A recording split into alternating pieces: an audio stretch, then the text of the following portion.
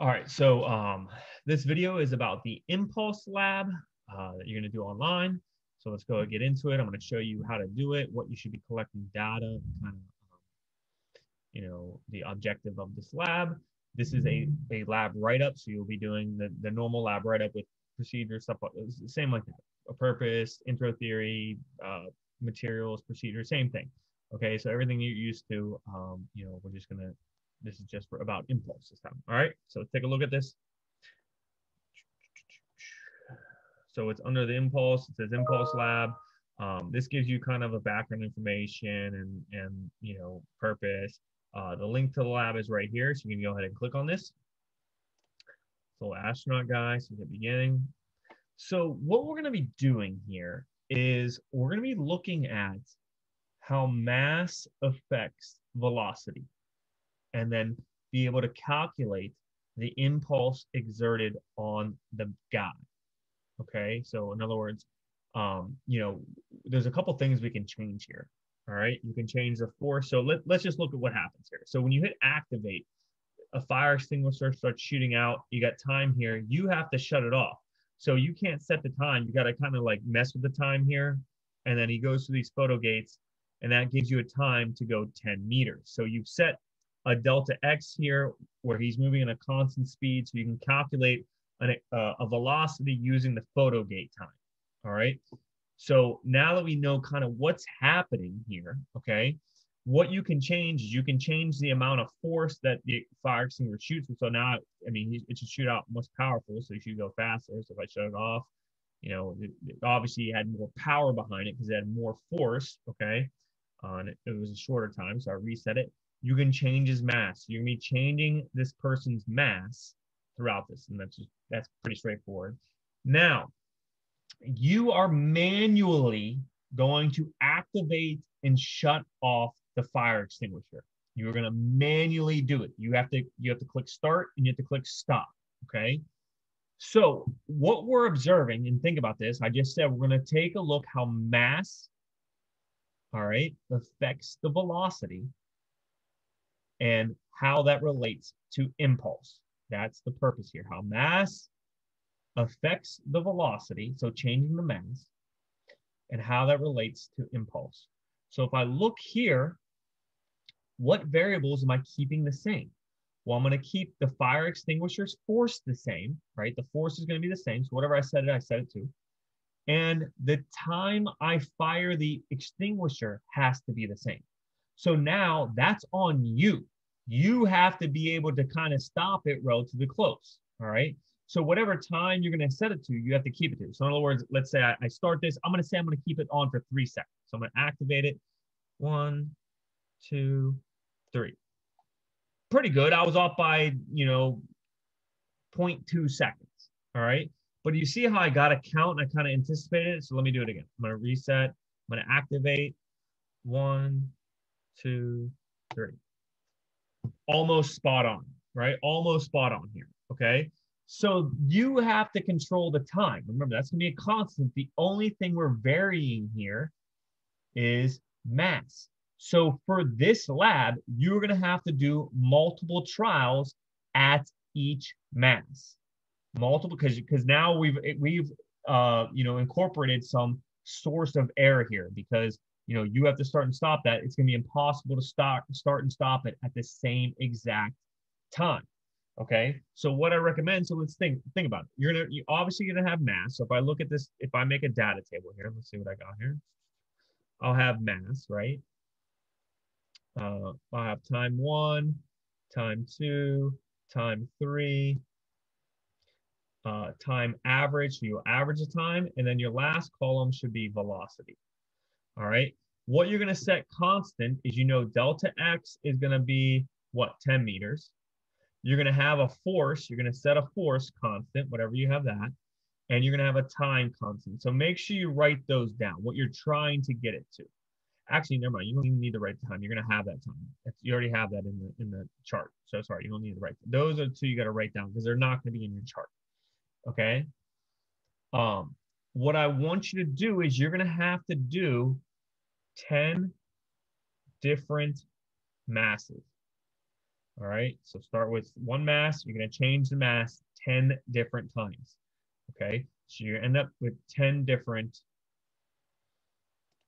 um, 10 different um, data points. Okay, so once you fill out this table, all right, you should obviously know how to uh, calculate velocity. I'm not explaining it. You have a delta x and you have a t. You're moving at a constant speed. It's the easiest calculation in the world.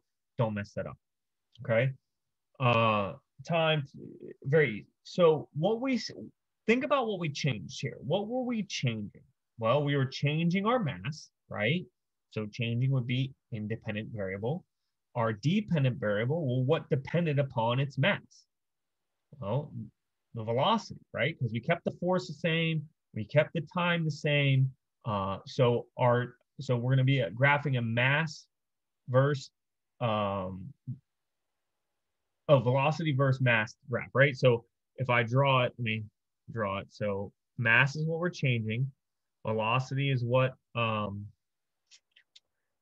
uh, you know what depended upon our mass change, right? Everybody's good so far. I mean, that's basic common sense, right? We kept changing the mass and it changed how fast we were going at this point here, okay? So let's look at this. Remember, this is equal to, you can also say that this is equal to impulse, right? And we want to see how this relates. Well, if I look at this, what do I know about these two variables the entire time? The entire time we're doing it? Well, what do I say? I'm keeping the force constant. So this is a constant number, and I'm trying to keep the time constant as best I can. So this is a constant factor, right? Force is the same, time is the same, right? So really, the impulse imparted on the astronaut is the same. We can calculate. We can calculate it. You should know it. It's going to be the same every single time because the force is the same. All right and the time it takes is the same. All right. So that's your constant value, impulse. Okay. Well, I'm giving you all the answers. So this lab's really easy. So what you're going to have to do is you're going to have to figure out a relationship of this graph that gives me impulse. There's your hint right here. Here's your hint. Impulse equals this. It also equals that. All right. Remember, we want a direct relationship because I am not expecting this graph to be linear. All right. And you should not expect the graph to be linear also. Okay. So uh, once you graph that, all right, you're going to have to linearize the data, linearize the graph, and give me a linearized graph. And then you're to have to tell me what the slope is. Okay. So let me kind of just go through this uh, you know, expectations here. Okay. Procedure, uh, I'm sorry, purpose, one or two sentences. There should be no questions about that. Okay. Uh, introduction and theory. So let's talk about, let me share something else here. Uh, new share, where's new share? There it is. Intro theory. What you should talk about. Well, you should talk about momentum. You should talk about impulse. You should talk about impulse, momentum, theorem. Um, what else?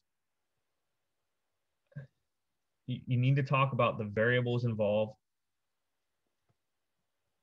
You need to talk about how changing them affects the outcome, right? I, I, I did a whole lecture on how changing the variables for impulse changes the outcome on an object, right? There was fake videos that I didn't have anymore. So you should rewatch that if you forgot. Um, so if you include all this, that should be good. Uh, procedure, remember it's just how you collect the data. All right, so your data table should look like this, mass T1, T2, T3, um, T average, and then velocity. Okay, and then you have one through 10 trials. So 10 different masses. Okay, 10 different masses.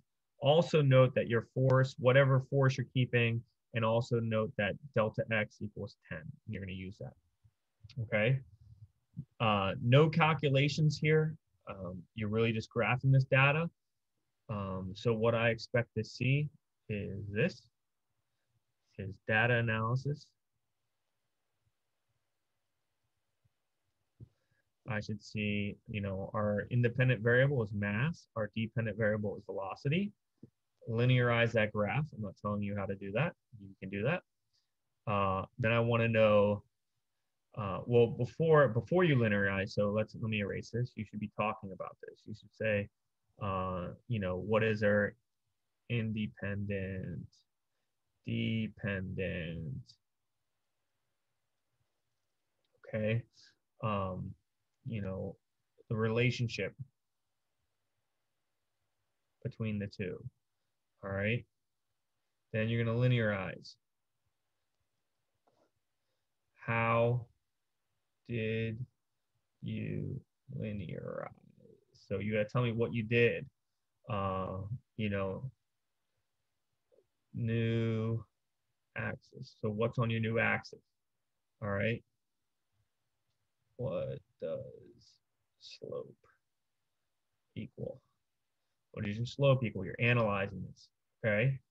Uh, so that would be your data analysis. And then um, what you can do from there is write your conclusion, all right? I mean, it's pretty straightforward. This lab's not too bad, okay? You just got to analyze some data. You know, when you're looking at slope, if you're confused, look at units, look at what the variables are. You know, think about what slope is. Remember, slope is just rise over run. Okay, so think about what happens. Think about how you linearize. You should have access to the, the chart to linearize stuff. Um, really should be easy here, an easy write-up. Um,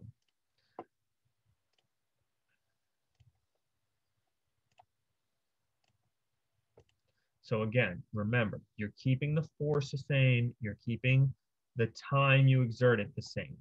You're changing the mass, getting velocity. You're seeing how they relate, okay?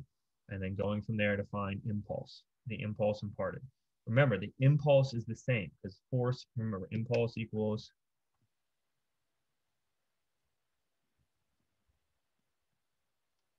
okay, force is staying the same, time is staying the same for every trial. Doesn't matter. Mass doesn't affect this, right? Mass doesn't come into play there. So therefore, you know, the impulse is going to be the same every single time, no matter the mass. All right. Good luck. Hope all of you do well. Get your data, 10 different masses, three trials each time, uh, and then go ahead and do your lab writing. All right.